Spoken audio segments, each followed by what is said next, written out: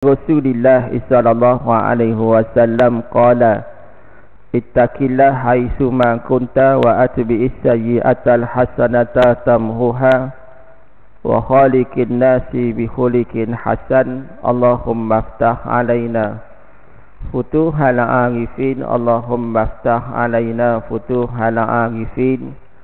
Amin amin amin amin ya rabbal alamin Ya dihormati Al-Fadil Tuan Imam Ia dikasihi Tuan Fungsi dan staf EJK Dimuliakan Para alim ulama dan staf asatizah Tuan-tuan haji, puan-puan hajah Tuan-tuan, puan-puan, ibu-ibu, ayah-ayah muslimin dan muslimat Ia dimuliakan bahkan juga didoakan Sama-sama insyaAllah biiznillah.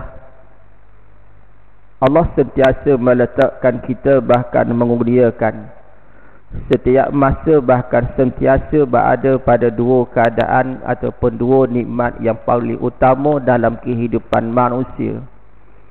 Sebagaimana ia dinukilkan oleh Syekh Ibnu Athaillah rahimallahu taala yakni nikmat yang pertama iaitu nikmat yang zahir dan juga yang kedua adalah nikmat yang batin. Nikmat yang zahir itu merujuk pada Islam yang kita Anuti pada ketika ini yang kedua nikmat batin merujuk pada iman yang kita miliki pada ketika ini mudah-mudahan kedua-dua nikmat ini setiasa berlangsungan dalam kehidupan kita sehinggalah kita bertemu dengan Allah Subhanahu wa taala. Kedua-dua nikmat ini yang kita istilahkan ia sebagai satu kelangsungan yang mengekalkan kehidupan kita berada pada jalan ketaatan maupun kepatuhan kepada Allah Subhanahu wa taala. Yang kita sulami mudah-mudahan dua nikmat yang zahir dan juga batin ini ataupun Islam ataupun iman ini. Moga-moga ia sentiasa berada dalam bentuk hidayah. Sebagaimana ia dikatakan oleh Al-Imam Ghazali rahimallahu ta'ala yakni bermula hidayah itu dengan ketaatan bahkan berakhir juga hidayah dengan ketaatan kepada Allah Subhanahu wa taala.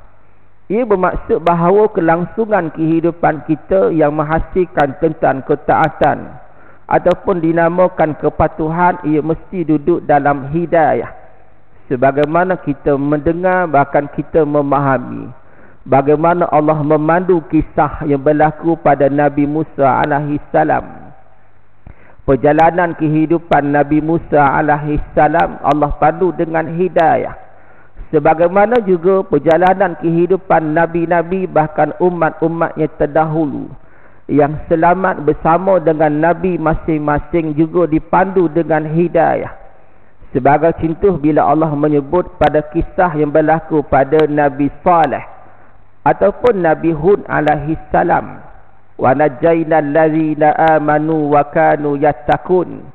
Allah menyebut tentang kemenangan kejayaan suatu bentuk konsep keselamatan yang berlaku pada satu manusia golongan manusia wa najayna allazina amanu. Ya ayat tersebut merujuk pada kisah Nabi Hud Nabi Saleh alaihi salam Sehingga Allah mengakui bahawa wakanu yattaqun itulah manusia yang bertakwa kepada Allah Subhanahu wa taala. Sebagaimana kita mendengar bahawa satu kisah yang berlaku sebelum zaman Nabi Isa alaihi salam. Kisah yang berlaku itu yang berkaitan pada pengakuan penyaksian sifat keimanan pada Allah kisah Ashabul Kahfi. Sehingga Allah menyebut nahnu nakusu alaika naba'ahum bil haqq. Sehingga Allah menyatakan innahum fityatun. Mereka lah pemuda-pemuda yang beriman pada Allah Subhanahu wa taala. Tuan-tuan, bila kita kita menyebut tentang persoalan nikmat Islam bahkan nikmat iman, itulah dua nikmat yang utama dalam kehidupan kita mudah-mudahan. Inilah kelangsungan pada nikmat sebagaimana kita melihat dalam pendekatan mazhab ahli sunnah wal jamaah. Apakah dikatakan persoalan berkaitan nikmat?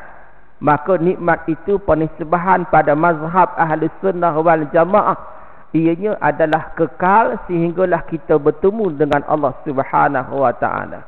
Kenikmatan itu bukan hanya terletak di atas dunia semata-mata. Tetapi kenikmatan itu bagaimana ia disambung, ditalikan, dihubungkan, dipanjang-panjangkan sehinggalah nikmat itu mendatangkan satu manfaat kelebihan dalam kehidupan kita sehinggalah kita bertemu dengan Allah Subhanahu wa taala. Sebagaimana kita selalu berdoa dalam kehidupan kita ya Allah izinkan kasih sayang yang ada dalam kehidupan kami ini sehinggalah sampai ke dalam syurga Allah Subhanahu wa taala. Ya Allah izinkan sifat kelakuan kami ini menjadi sebaik-baik kelakuan ibadah. Yang moga-moga sebaik-baik kelakuan ibadah ini berpanjangan sehinggalah memasuki dalam syurga Allah Subhanahu wa taala. Kenikmatan kita duduk dalam melakukan ibadah salat. Itulah yang kita nyatakan moga-moga dengan ibadah ini yang menjadi tunjang dalam kehidupan manusia yang moga-moga dengan ibadah salat itulah yang melangsungkan kita sehingga mendapat kenikmatan dalam syurga Allah Subhanahu wa taala sebagai contoh bila kita baca hadis uh, daripada Talhah bin Ubaidillah radhiyallahu anhu Talhah bin Ubaidillah ni sahabat baginda Muhammad sallallahu alaihi wasallam. Ya Nabi kata bahawa inilah manusia, inilah sahabat yang dijamin syurga oleh baginda Muhammad sallallahu alaihi wasallam yang pertama. Yang kedua Nabi menunjuki pada Talhah bin Ubaidillah tentang uh, kesyahidan Talhah bin Ubaidillah radhiyallahu anhu. Walaupun belum meninggal tapi Nabi kata yamshi wajhi fil ardi yang masih lagi berjalan di atas muka bumi Allah Subhanahu wa taala Nabi menyebut fal yanzuk maka tengoklah pada Talhah bin Ubaidillah maka kisah Ubaidillah Talhah bin Ubaidillah radhiyallahu anhu kita membaca pendekatan berkaitan salat yang melangsungkan kepada syurga Allah. Contoh bila Talhah menyebut anna rajulaini ha, min baliyin qadima Rasulillah sallallahu alaihi wasallam. Ada dua lelaki berjumpa dengan baginda sallallahu alaihi wasallam. Yang kedua-dua lelaki ini min baliyin daripada satu tempat bernama baliyin wa kana islamahuma kedua-duanya perlu agama Islam ikasan cerita dua lelaki ini lelaki yang pertama pergi medan perang jihad bertemu dengan mati syahid manakala lelaki yang kedua meninggal dunia setahun selepas itu bertemu dengan mati yang biasa. Maka Talhah bin Ubaidillah menyebut fa'aitu fil manami. Dia bermimpi pada satu malam ana inda babil jannah aku duduk di hadapan pintu syurga Allah Subhanahu wa taala. Maka ketika itu dia juga melihat kedua-dua lelaki tersebut bersama dengan dia dalam mimpi tersebut. Apa dikatakan oleh lelaki ini? Ayat dikatakan oleh Talhah bin Ubaidillah Ana inda babil jannah yakni malaikat keluar kali pertama menjemput lelaki yang kedua yakni lelaki yang mati bertemu dengan biasa yang mati yang biasa yang yang bukan bertemu dengan mati syahid apa dikatakan malaikat itu menjemput lelaki kedua lebih awal boleh masuk syurga Allah Subhanahu wa taala Keluar kali kedua, malaikat menyebut, malaikat menjemput lelaki yang pertama yang bertemu dengan mati syahid, masuk dalam syurga Allah. Keluar kali ketiga bertemu dengan Talhah bin Ubaidillah menyebut, irji' balik pulang. Belum sampai lagi masa dalam masuk syurga Allah. Fa'asbaha berpagi-pagi Talhah bin Ubaidillah. Maka datang salat subuh duk bincang dengan sahabat kepelikan pada mimpi Talhah bin Ubaidillah. Kita mimpi Talhah bin Ubaidillah. Dia rasa kepelikan kenapa lelaki yang kedua yang bertemu dengan mati biasa. Lebih awal boleh masuk syurga Allah subhanahu wa ta'ala. Compare berbanding dengan lelaki yang pertama bertemu dengan mati syahid. Maka kisah ini sampailah kepada baginda Muhammad sallallahu alaihi wasallam. Sehingga Nabi berjumpa dengan Talhah bin Ubaidillah bertemu dengan baginda sehingga baginda bertanya, ayyu zalik maza ta'jabun apakah yang menyebabkan kamu rasa pelik heran sangat dengan kisah ini mimpi Talhah bin Ubaidillah Talhah bin Ubalah kata penjelasan panjang kenapa lelaki kedua boleh boleh awal masuk syurga berbanding dengan lelaki yang pertama yang sudah bertemu dengan mati syahid. Sehingga baginda menyebut, bukankah lelaki yang kedua ini dia hidup selama setahun. Selepas masuk Islam, dia sempat untuk berpuasa, dia sempat untuk salat selama setahun maka baginda kata fama bainahuma ab'adu bainas sama'i wal ardi. Fama bainahuma kedudukan kedua-duanya amat jauh berbeza. Ab'adu lagi jauh perbezaan di antara langit dengan bumi Allah Subhanahu wa taala. Tuan-tuan bila kita baca hadis Talhah bin Ubadillah ini ia menceritakan satu keunikan pada sifat amalan.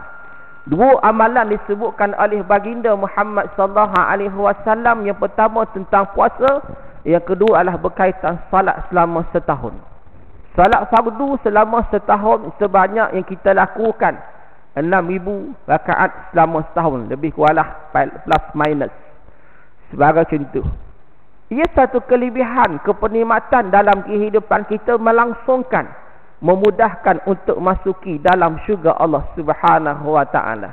Seperti mana kelangsungan pada kita dalam pagi ini. Inilah kebiasaannya kedua-dua nikmat yang juga disebutkan oleh Anas bin Malik radhiyallahu anhu berkaitan salat yang dilaksanakan fahuwa fi zimmatillah maka disebut dia berada dalam tanggungan Allah Subhanahu wa taala bahkan matan hadis dan juga menyebut bahawa fahuwa fi zimmatillah wa zimmah Rasulullah sallallahu alaihi wasallam berada dalam jaminan Allah dan juga berada pada jaminan baginda Muhammad sallallahu alaihi wasallam.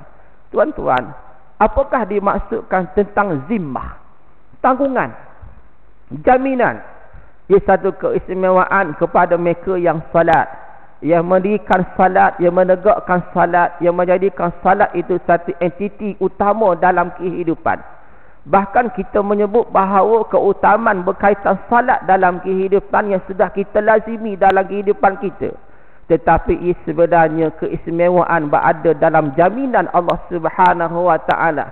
Maksudnya bahawa ditinggikan kemuliaan kehormatan bahagian oleh Allah Subhanahu wa taala kalau kita membuka satu kitab yang ditulis oleh al-Imam Muhaddad rahimallahu taala nasihat agama dan wasiat iman ini kitab yang masyhur yang selalu dibacakan oleh asatizah Nasihat agama wasiat iman al-Imam Muhaddad rahimallahu taala.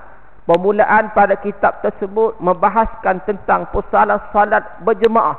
Keutamaan salat berjemaah. Apakah hukum meninggalkan salat berjemaah? Apakah manfaat kepada salat berjemaah sebagai contoh? Maka al-Imam Muhaddad rahimallahu taala menyebut bahawa mendatangkan satu kisah yang berlaku pada zaman Khalifah Abbasiyah Contohnya bagaimana? Zaman tersebut khalifah ketika mana nak menjalankan satu hukuman pada pesalah. Maka di antara soalan-soalan ditanya oleh khalifah. Adakah semalam kamu sudah melaksanakan solat subuh? Adakah semalam kamu solat isyak berjemaah? Ini di antara soalan-soalan ditanya oleh khalifah. Sebagai contoh untuk me, kita sebut bahawa bertanya kepada pesalah supaya datang pada sangka baik. Sebab mereka melangsungkan salat itu maka ia diringankan hukuman oleh khalifah.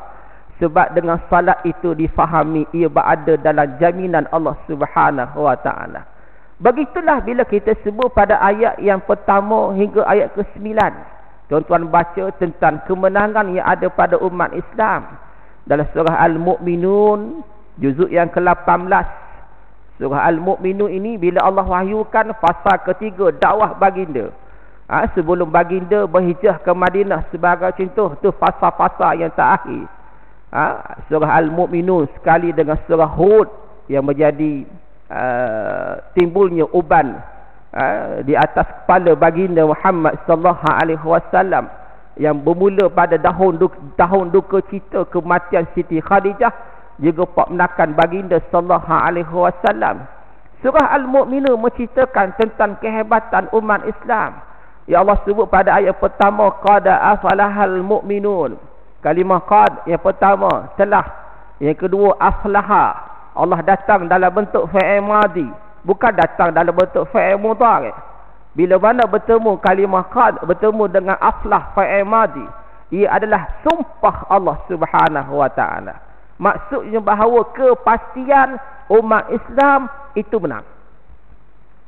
Bila sebut qada afalaha, ia satu pembakar semangat, motivasi kepada kehidupan manusia. Bila Allah bersumpah qada aflah, ini sudut bahasa lah tuan-tuan. Allah tak datang dalam bentuk fa'il mudhari. Bila sebut bagaimana kalau fa'il mudhari, kalau qad bertemu dengan fa'il mudhari, ia menceritakan tentang kadang-kadang boleh berlaku, kadang-kadang tak boleh berlaku. Maksudnya boleh jadi menang, boleh jadi kalah.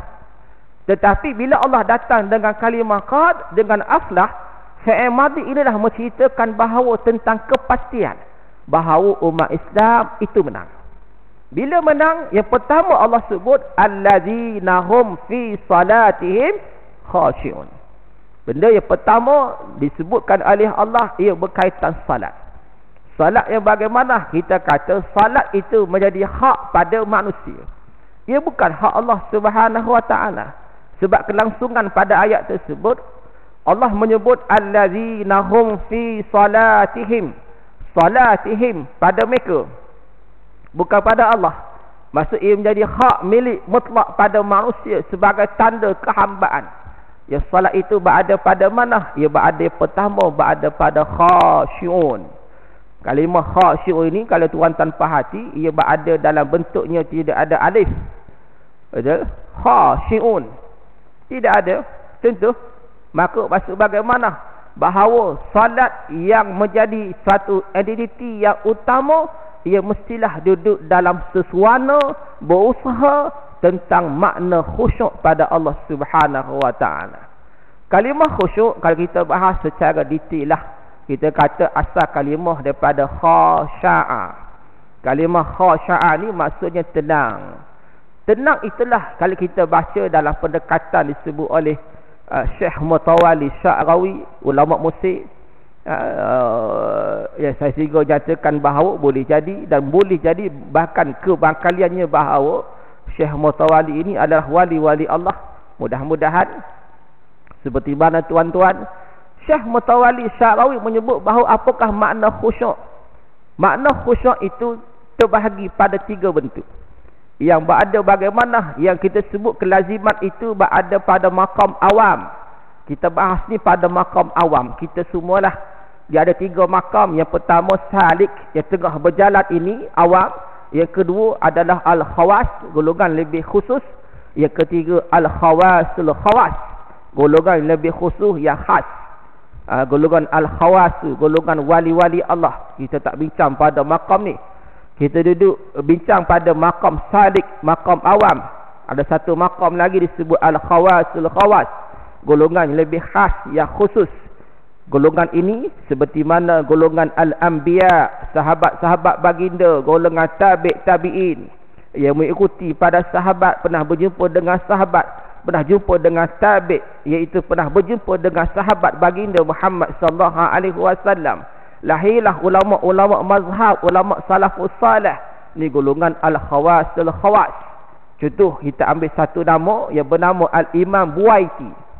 Al-Imam Buaiti rahimallahu taala kalau kita dengar ia satu nama yang masyhur dalam mazhab Syafi'i rahimallahu taala.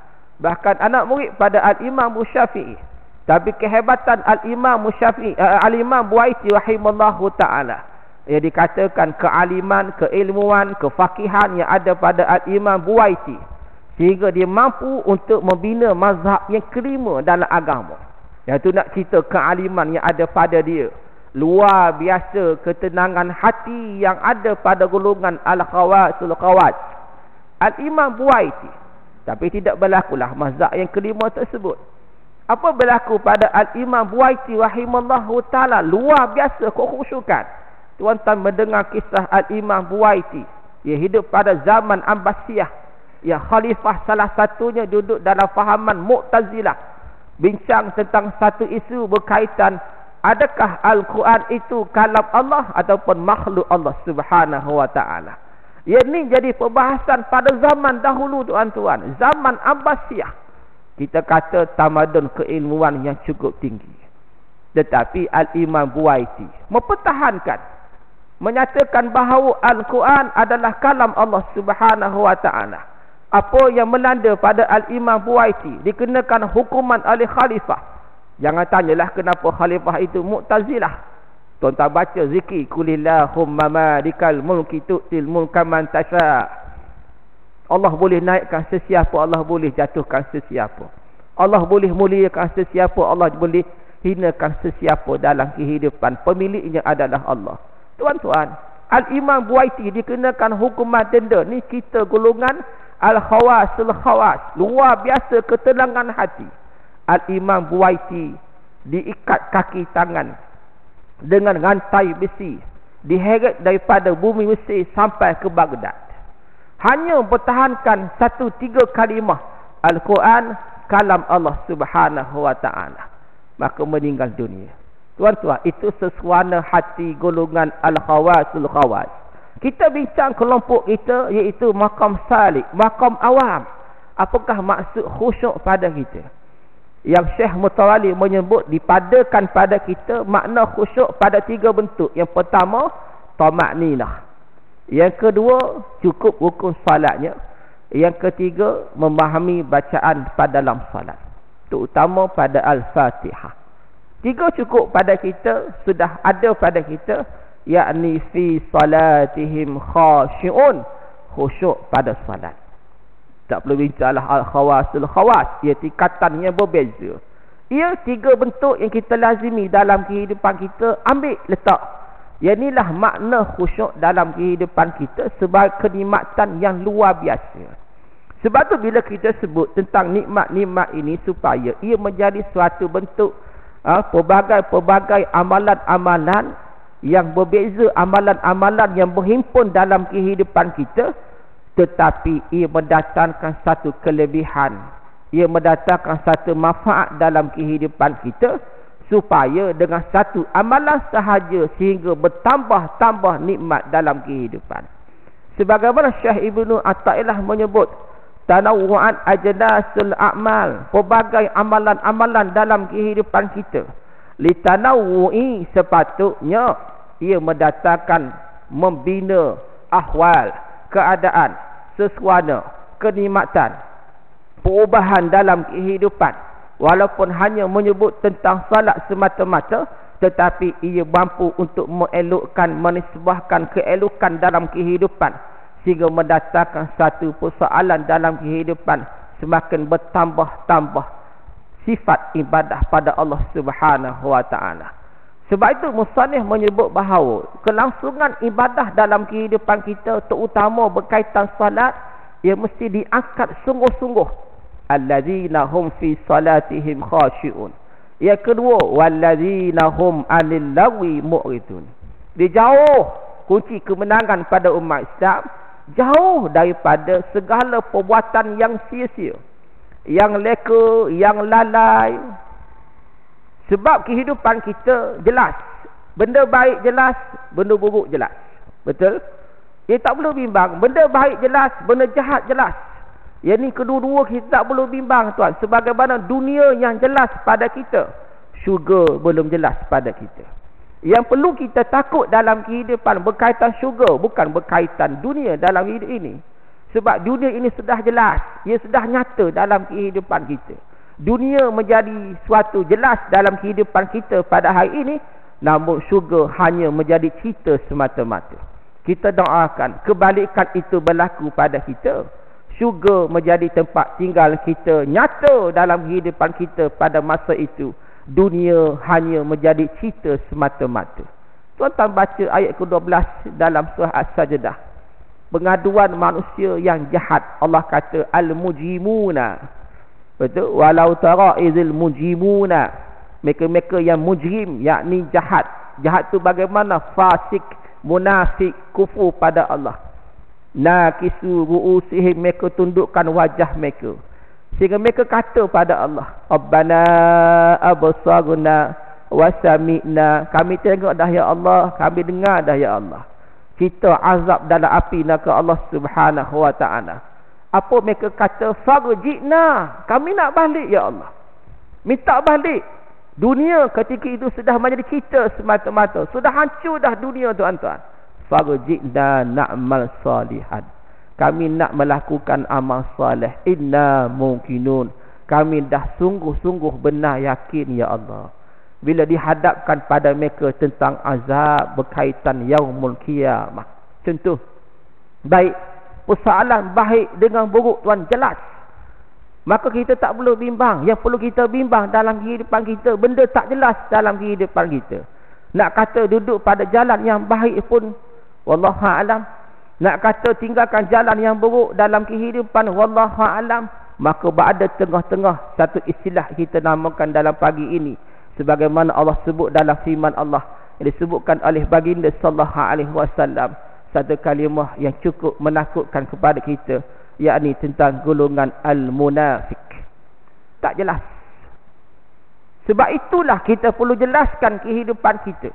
Sebagaimana juga pendekatan mazhab ahli sunnah wal jamaah bila bincang tentang konsep kehidupan yang bahagia ataupun sebaliknya.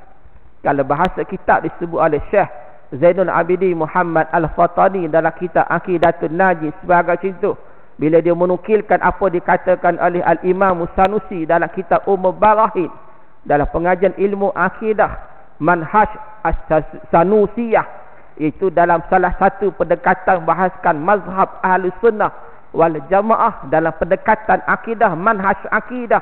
Contoh bila di mana dibahaskan berkaitan bagaimanakah konsep bahagia ataupun sebaliknya. Sebaliknya itu istilah bahasa saya bahasa kitab disebut bahagia ataupun celaka kehidupan manusia. Ha, nak gunakan kalimah celaka itu dia agak janggal. Sebab ia bukan biasa pada lidah kita. Kan? Wallahu alam. Tak apalah itu penggunaan istilah menulis dalam kitab. Maka pendekatan mazhab ahli sunnah menisbahkan bagaimana kita nak tahu kita duduk dalam kehidupan yang bahagia ataupun sebaliknya.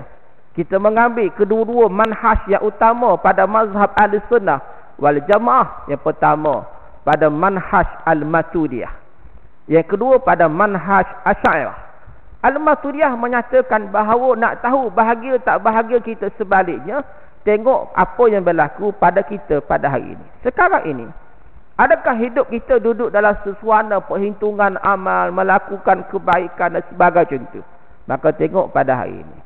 Beza dengan pendekatan asyairah menyebut bagaimana. Nak tahu bahagia tak bahagia kita tengok pada kesudahan kehidupan kita. Kesudahan itu bahagia bila diikat dengan iman. Kesudahan yang sebaliknya ia tidak diikat dengan iman pada Allah Subhanahu wa taala. Itu kita belajar dalam pendekatan mazhab Ahli Sunnah wal Jamaah. Sebagaimana juga kita menyebut tentang benda baik. Kedua-dua manhas ini juga beriktifak. Segala benda baik akan dibalas baik oleh Allah subhanahu wa ta'ala.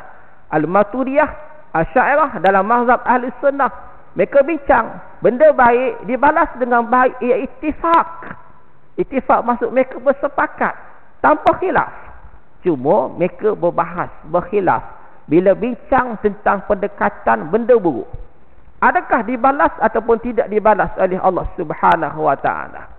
Ini membezakan dalam polemik tentang mazhab ahli sunnah wal jamaah. Maka bagaimana bila bincang benda buruk, adakah dibalas oleh buruk ataupun tidak? Maka Asy'ariyah menyebut bagaimana bila berlaku sesuatu benda yang jahat, benda buruk, maka harus bagi Allah. Ini pandangan Asy'ariyah. Maksud bagaimana harus bagi Allah, Allah nak balas ataupun tak nak balas tu pula. Sebab Asyairah mengakad tentang yang lagi besar dalam kehidupan adalah maha keampunan Allah Subhanahu wa taala.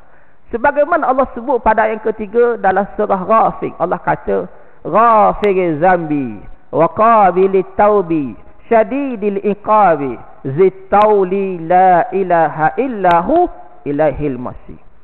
Ghafir zambi yang mengampuni dosa, yang menerima taubat, syadidil iqabi yang maha dahsyatnya azab Allah zitauli melimpah-limpah berpanjangan nikmat Allah la ilaha illahu tidak ada tuhan selain daripada dia kepadanya lah kembali semata-mata Tuan-tuan, itu pandangan Asy'ariyah.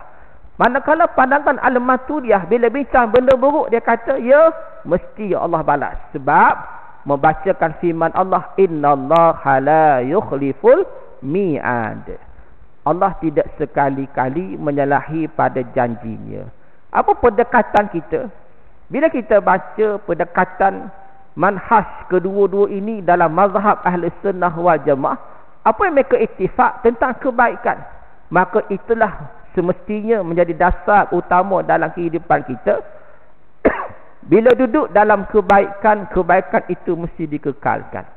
Maka kebaikan itu juga tidak akan berhenti sekali-kali dalam kehidupan. Bahkan kebaikan itulah mesti menjadi suatu identiti utama dalam kehidupan kepada mazhab ahli sunnah wal jamaah. Kebaikan yang kita faham daripada pandangan kedua-dua ini menjadi iktikat kepada kita maka tidak sekali-kali kita mampu untuk melakukan dosa maksiat kepada Allah Subhanahu wa taala. Kita perlu bertanya dalam kehidupan. Tuan-tuan perlu bertanya dalam kehidupan. Perlu bertanya pada ahli keluarga. Perlu bertanya kepada masyarakat kita.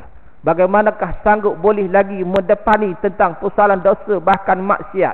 Sedangkan ia sudah diputuskan dalam mazhab ahli sunnah wal jamaah stand pegangan utama keutamaan kita duduk dalam kebaikan itu adalah sebenarnya pegangan mazhab ahli sunnah wal jamaah kita tak biarkan sebab tu akal umbi bila kita bincang persoalan akidah teknikalnya pada mazhab ahli sunnah wal jamaah kita akan dapat faham bahawa mana mungkin mazhab ahli sunnah wal jamaah boleh bercampur di antara dosa dengan maksiat bercampur dengan kebaikan dalam kehidupan Sedangkan kebaikan itu menjadi satu identiti utama, pegangan utama pada mazhab ahli sunnah wal jamaah. Tuan-tuan, inilah satu kelangsungan bila kita sebut. Bila baca ayat yang ketiga tadi, Rafiq Zambi. Ayat ini digunakan oleh Sayyidina Umar Khattab radhiyallahu anhu. Membangkitkan kebaikan pada zaman beliau menjadi khalifah yang kedua. Sayyidina Umar mengetahui ada seorang lelaki selalu melakukan dosa maksiat maka dihantar satu memo pada lelaki tersebut kita bagaimana kita nak bangkitkan kebaikan itu biarlah berada pada jalan yang sungguh betul inilah mazhab ahli sunnah wal jamaah. Yang kita bertegur dalam kehidupan kenapa masih lagi kekal berada pada sifat dosa maksiat? Leka lalai pada Allah. Sedangkan pegangan kita iktikad kita intimak kita kepada ahli sunnah wal jamaah. Yang menyelamatkan kehidupan kita semata-mata. Tuan-tuan, Sayyidina Umar Khattab radhiyallahu anhu hantar satu memo pada seorang lelaki yang melakukan dosa maksiat. Dia tulis satu ayat, dia tulis ghafiriz zambi wa qabilit taubi syadidil iqabi zitauli. Kalau kita baca dalam pendekatan Hamka dalam kitab tafsir beliau, dia kata keempat-empat sifat ini sebenarnya menceritakan tentang maha pengasihnya Allah Subhanahu wa taala. Maha pengasihnya Allah cerita tentang mengampuni dosa, menerima taubat, syadidil iqab, dahsyatnya azab. Ya, cerita kasih sayang Allah. Allah cerita pada manusia tengah-tengah tu. Walaupun Allah kata sebegitu mengampuni dosa, tapi Allah cerita juga dahsyatnya azab Allah sebagai tanda kasih sayang Allah Subhanahu wa taala pada manusia. Kasih sayang Allah pada manusia, Allah tak tinggalkan. Sebab supaya manusia berhati-hati dalam kehidupan. Sayyidina Umar hantar memo ini kepada lelaki tersebut. Lelaki ini membaca ayat ini. Apa berlaku pada lelaki tersebut? Lelaki itu menangis. Tuan-tuan, jumpa dengan Sayyidina Umar Khattab radhiyallahu anhu. Sayyidina Umar kata pada lelaki tersebut, "Hakaza fasta'un." Beginilah kita bila mana kita duduk berhadapan dengan masalah ini. Sayyidina Umar kata, "Tegur dan perbetulkanlah." Wada'allaha ayyatuba alaihi berdoalah pada Allah supaya lelaki ini bertaubat pada Allah. Sehingga Sayyidina Umar kata wala yakunu a'wahnan lisyayatin. Janganlah kalian menjadi pembantu-pembantu pada syaitan yang menambahkan kerosakan yang ada pada lelaki ini. Tuan-tuan, membetulkan kesalahan manusia, dosa manusia, ia berlaku dalam kehidupan membetulkan untuk meletakkan kehidupan manusia berpegang pada mazhab ahli sunnah wal jamaah kitabah berpegang pada kebaikan sebab kebaikan itu adalah entiti utama dalam pegangan mazhab ahli sunnah wal jamaah. Beza pada fahaman mu'tazilah. Membiarkan manusia nak jadi baik manusia nak jadi buruk iaitu pulang atas manusia. Ikut kehendak manusia kemahuan pada manusia sebagai cinta tapi inilah keunikan keistimewaan pada mazhab ahli sunnah wal jamaah yang kita sebut dalam pagi ini tuan-tuan kelangsungan pada nikmat-nikmat yang ada dalam kehidupan kita yang berhimpun pada kebaikan-kebaikan itu sebagaimana yang dinyatakan oleh Syekh Ibnu Athaillah moga-moga kenikmatan dalam kehidupan kita menjadi sebaik-baik kenikmatan yang berada dalam ketaatan kepada Allah Subhanahu wa taala. Sebab tu Syekh Ibnu Athaillah menyebut sebaik-baik kenikmatan ia sebenarnya berada pada jalan ketaatan kepatuhan pada Allah Subhanahu wa taala. Bukan itu semata-mata bahkan sebaik-baik kelakuan ibadah kita kepada Allah Subhanahu wa taala. Tuan-tuan, ini menjadi satu kemestian dalam kehidupan kita bermula daripada persoalan nikmat dalam kehidupan kita sebab nikmat inilah mesti difahami dengan baik. Kalau kita lihat pendekatan yang berlaku pada kaum kaum 'Ad kaum Samud. Mereka tenggelam dalam kenikmatan. Ya Allah sebut bagaimana? Faqul anzartukum. Allah bersebut pada baginda ingatlah pada musyriki Mekah. Sa'iqatan. Peti yang pernah melanda pada kaum Ad kaum Samud. Tuan-tuan Allah mengajak satu pandangan akal manusia. Perhatikanlah tengokkanlah. Kenapa Allah gabungkan kalimah adin wasamud dalam mana-mana ayat Allah bila Allah sebut kalimah Adin wa Samud, kaum Ad, kaum Samud. Sebab dua kaum ini sebenarnya sentiasa dilihat oleh musyriki Mekah. Mereka berulang alik bila keluar berdagang daripada bumi Mekah, mereka pasti berjumpa dengan tempat ini. Ingatan dalam kehidupan mereka, kenikmatan yang ada pada kaum Ad. Tuan-tuan, hanya bukan hanya tubuh yang besar semata-mata. Tapi Allah lazimi pada mereka dengan istana yang mereka bina cukup cantik tapi ada istimewa dalam kehidupan mereka Allah limpahkan kenikmatan jannatin wa uyun. Allah padakan pada mereka satu kebun tanaman yang cukup subur dalam kehidupan mereka. Tapi Allah padakan hanya bentuk jannatin wa uyun. Jannatin kebun wa uyun iaitu mata air semata-mata. Maksud bagaimana Allah hilangkan ketakutan kebimbangan yang ada pada jiwa mereka. Tak boleh bimbang bahawa ah, kebun ini akan dilanda dengan hujan. Istilah hujan pada zaman kita datang kebimbangan, ketakutan.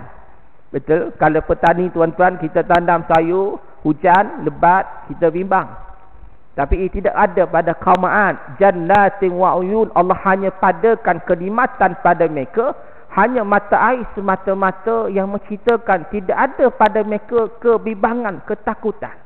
Tapi apa jawapan mereka? Mereka kata, Qalu man asyadda minna kuwah. Siapa lebih kuat daripada kami? Mereka lupa pada Allah subhanahu wa ta'ala. Ini ingatan Allah sebut pada musyiki Mekah. Supaya apa? Sebaik-baik kenikmatan dalam kehidupan kita. Ia berada dalam sebaik-baik kelakuan ibadah pada Allah subhanahu wa ta'ala. Cuma berdasarkan upaya yang ada dalam kehidupan kita kita ledukkan, letakkan ataupun kita susun dalam kehidupan kita mudah-mudahan ia berada dalam sesuatu yang paling cantik sebaik-baik kelakuan ibadah pada Allah Subhanahu wa taala. Tidak terhenti pada solat semata-mata kelaziman itu mestilah ditingkatkan, ia mesti ditambah, ia mesti dikembangkan, ia mesti dielokkan, ia mesti dicantikkan.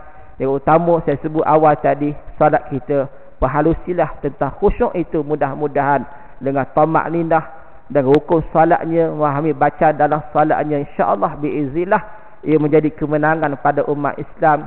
Bakal kemenangan itu pasti berlaku dan akan berlaku sebab ia sudah dijamin oleh Allah Subhanahu wa taala. Cuma siapakah di kalangan umat Islam yang nak ambil peluang ini menjadi manusia yang menang di sisi Allah Subhanahu wa taala yang kita sebut dalam pagi ini moga-moga Allah menyimpan segala amalan-amalan kita di sisi Allah Subhanahu wa taala. Bukan Allah campakkan kembali. Kalau kita baca firman Allah kulillah summa zawhum fi khawdihim yal'abun. Allah kata kemudian biarkan. Summa zahum biarkan dia. Dia nak bermain. Summa zahum fi khawdihim yan abu dia nak bermain ambillah sila ambil. Allah hiasi amalan dia baik. Ya baik sungguh tapi baik itu ia tidak bermakna sebab baik yang ada pada dia hanya terlekat pada tubuh badan dia semata-mata. Amal itu tak disimpan di sisi Allah Subhanahu wa taala. Contoh mana? Dia boleh lazimi baca Quran dengan baik tapi lidah itu masih lagi kekal dalam persoalan dosa merompak dan menghina dan sebagainya contoh. Ia banyak berlaku dalam kehidupan kita. Tuan-tuan Allah boleh Allah izinkan pada lidah itu boleh zikir dengan baik subhanallah. Lidah yang sama juga terikat terikat terhubung dengan perbuatan maksiat dosa pada Allah Subhanahu wa taala. Ialah kita bimbang dalam kehidupan. Ia tanda Allah campakkan amalan itu pada dia. Duduklah pada dia kekal pada dia. Sebab itu Allah menyebut pada satu ayat fahabitat a'maluhum. Maka terbatalah amalan-amalan mereka. Fahabitat kalimah asal pada kalimah habata kalimah habata ni ulama sebut seperti mana kita pergi tengok telaga. Disangkakan ada air kosong. Itulah seperti mana amalan. Amalan nampak gempak zahirnya nampak hebat. Tapi isinya kontang kepada Allah Subhanahu wa taala. Tuan-tuan kita menyebut pada ayat-ayat ini mudah-mudahan difahami sebagai satu muhasabah bersama untuk saya dan kita semua moga-moga kita hidup duduk dalam sesuana sebaik-baik kenikmatan yang berada pada jalan ketaatan yang menghasilkan sebaik-baik kelakuan ibadah pada Allah Subhanahu wa taala. Akhir kata sedikit sebanyak dalam pagi ini sebagai perkongsian bersama menggantikan Al-Fadhil Ustaz Najib. Mudah-moga ya ada salah ada silap dimaafkan. insya-Allah biiznillah ada peluang ada rezeki. Bertemu kembali insya-Allah biiznillah walaupun tempat ini dulu saya selalu datang salat tinggi inilah lima tahun yang lepas. Ha, kan? Duduk tengok-tengok mana tempat nak duduk tuan-tuan. Tapi tak ada jodoh di sini kan? Tengok-tengok tanah semua penuh kan? Tak apalah. Ada rezeki tempat lain insya-Allah biiznillah apa yang baik itu daripada Allah apa lemah daripada saya. Wallahu alam. Assalamualaikum warahmatullahi wabarakatuh. Bismillahirrahmanirrahim wassalatu wassalamu ala syafil anbiya wal mursalin wa ala alihi wa sahbihi ajma'in. Allahumma inna nas'aluka al-afwa wal-afiyah wal-mu'afata da'imata fi din wa dunya wal-akhirah innaka ala kulli syai'in qadir. Allahu latifun bi'ibadihi yawzuku man yasha' wa huwa al-qawiyyil aziz. Allahumma a'inna ala zikrika wa syukrika wa khusni ibadatik. اللهم ختم لنا بحسن الخاتمة ولا تختم لنا علينا يا الله بسوء الخاتمة. اللهم ذقنا قبل الموت التوبة. اللهم ذقنا عند الموت شهادة. اللهم ذقنا بعد الموت الجنة ونعيم. ربنا آتنا في الدنيا حسنة وفي الآخرة حسنة وكنا عذاب النار. وصلى الله على سيدنا محمد وعلى آله وصحبه أجمعين. Walhamdulillah Rabbil Alamin. Allahumma.